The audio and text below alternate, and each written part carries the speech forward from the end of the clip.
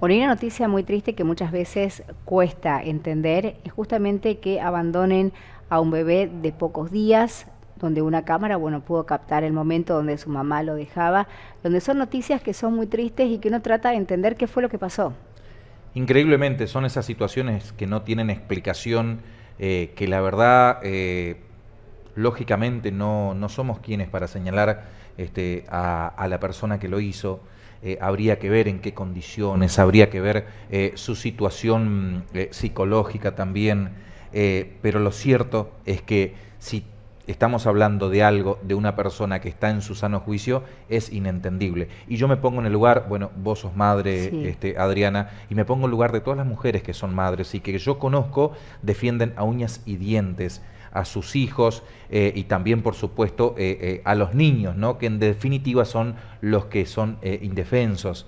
Pero bueno, Vamos este, a ir a, con una comunicación telefónica, Adriana, hacia la ciudad de San Espeña, porque allí es donde ocurrió este hecho. Sí, exactamente. Vamos a saludar a la jefa de la División de Violencia Familiar de Género de San Espeña. Estamos hablando de la subcomisario de policía González Francisca. González Francisca, un placer hablar con usted. Todo el equipo de Norte Grande Federal la saluda. Hola, buenas noches. Muchísimas gracias igualmente para usted el saludo. Bueno, para nosotros es un placer poder hablar con usted. Queremos que bueno, nos cuente detalles de, de, lo que sucedió, si tuvieron conocimiento de quién es la mamá, si pudieron localizarla, cómo está la salud del bebé. Eh, bueno, eh, primeramente, como, como es de público conocimiento, eh, una de las inquilinas en el lugar que sería calle 7 entre 14 y 16 del ensanche sur ahí de Caspeña, digo de ahí de Caspeña porque yo soy de Machagay, no soy de Caspeña, avisaron a la comisaría de que había un, nene, un bebé, frente a un domicilio. Por eso la prevención policial fue al lugar y se encontró con, con este bebé recién nacido que nosotros primeramente eh, pensamos que tenía una semana de, de vida por el tamaño y por, eh, su aspecto obviamente. Estaba envueltito con una mantita, eh, no estaba llorando, estaba frente a un domicilio bajo un arbusto.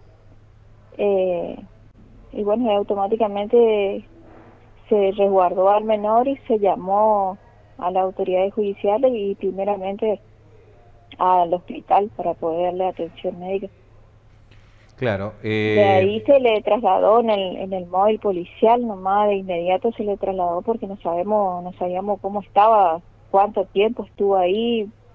Vio que esta mañana estaba un poquito fresco el, la mañana y no sabemos, no sabíamos nosotros cuánto tiempo estaban ahí. ¿Y el, ¿Y el parte médico qué dijo? ¿Qué información pudieron obtener? Eh, estaba en perfecto estado de salud. eh, dos días de haber nacido. ¿Y qué información hay con respecto a la madre? La madre se presentó a las 15.15, se presentó a la división.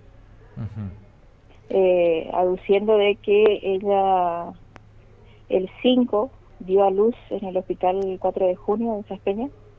Sí. Eh, ella había venido por un fuerte dolor, porque es de la tigre la, la chica, eh, con un fuerte dolor abdominal, aduciendo de que ella desconocía haber estado gestando un embarazo.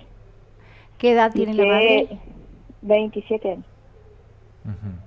¿Se 27 sabe? años y que eh, ella entró en shock cuando dio a luz eh, y por esa razón actuó de esa forma. Eh, subcomisario, eh, ¿se sabe algo más de la madre, o sea, más allá de entrar en shock, si padece algún tipo de trastornos, si tiene algún tipo de enfermedad eh, que lo pudo haber este, llevado también a, a, realizar esta acción? No, nosotros, eh, obviamente que no es que el menor automáticamente se le entrega.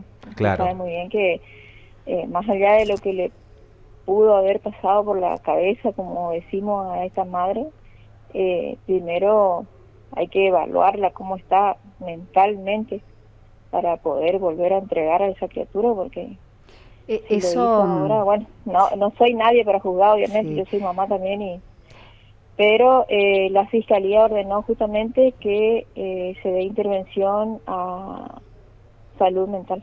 Bueno, eso estamos... Para que la evalúen. Sí, eso recién fuera de aire estamos hablando con, con mi compañero Omar con respecto a justamente a la, a, la, a la hora de analizar si el bebé regresa o no con su madre, tienen que haber estudios previos, porque este acto que cometió el abandonar a un bebé recién nacido, que podría haber tenido consecuencias muy graves, estaba fresco, lo dejó mucho tiempo, tenía muy pocos días de... Era un bebé muy chiquitito, le podría haber pasado cualquier cosa, y ahí estamos pasando la línea de, de, de la responsabilidad, y si una persona realmente... Eh, puede llegar a tenerlo, por lo menos eh, en, en este momento, a un bebé tan chiquitito.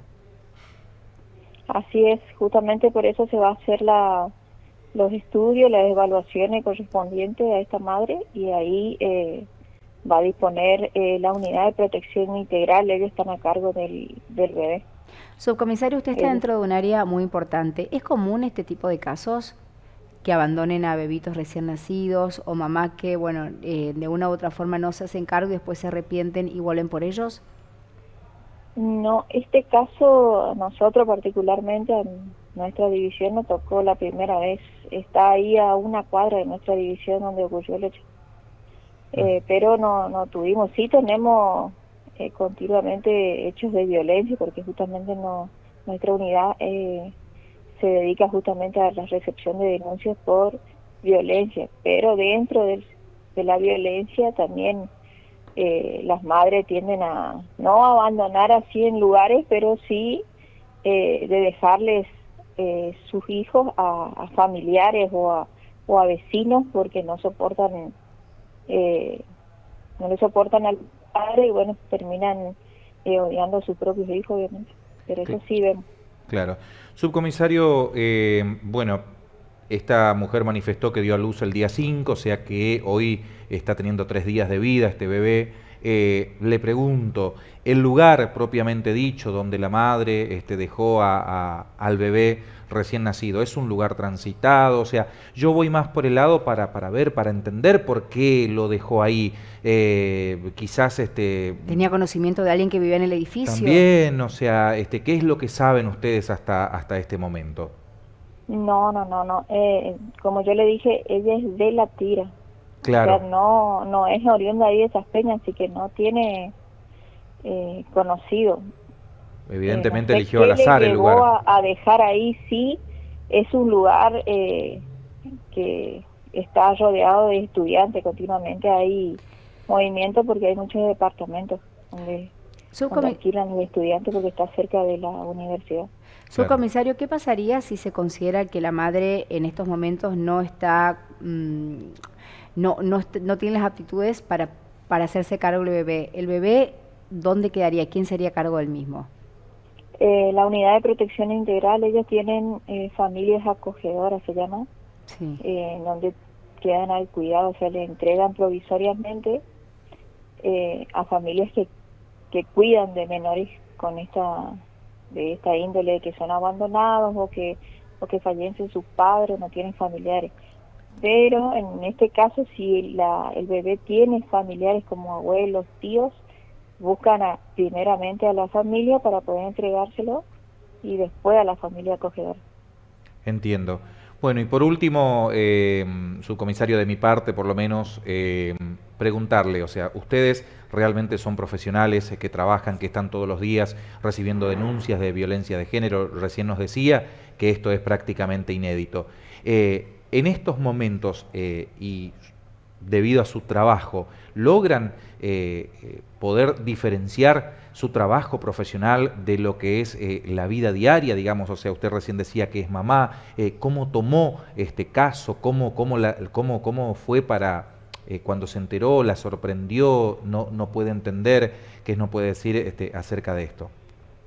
Y particularmente de mi punto de vista, no la no la puedo entender, es más,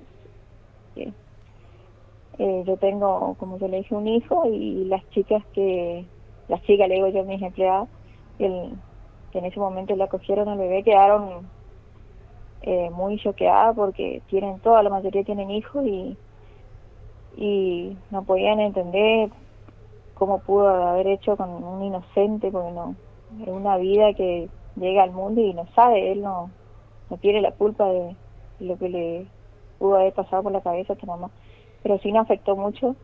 Eh, nos, nos queríamos quedar con el bebé, pero bueno, pero hermoso, muy hermoso. Eh, eh, nos sorprendía también la forma en que no lloraba, no lloraba y parecía un bebé que era de más de, tenía más tiempo de vida.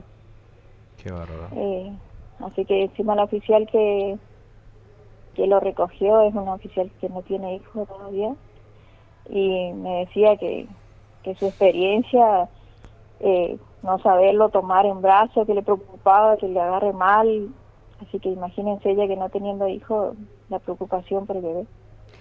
Subcomisario, muchísimas gracias por este contacto, realmente muy valiosa toda la información, excelente el trabajo que han realizado y de corazón esperamos que sea lo mejor para este bebito hermoso que por suerte tuvo suerte, lo encontraron rápido y está en buen estado de salud.